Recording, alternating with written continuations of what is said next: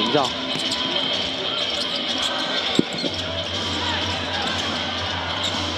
外围季节的出手，马上来一个三分球，哈哈！野兽不用热身，微波炉啊！对，这个四十五度永远是志杰的一个乐趣。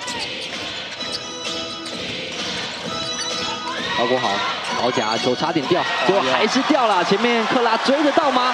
来看一下 Chris Johnson 来一个双手扣篮，位置是比较少有人去参与哦。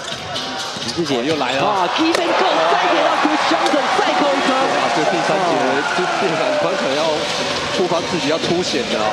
这个保险这个篮筐在第三节已经被连贯三次。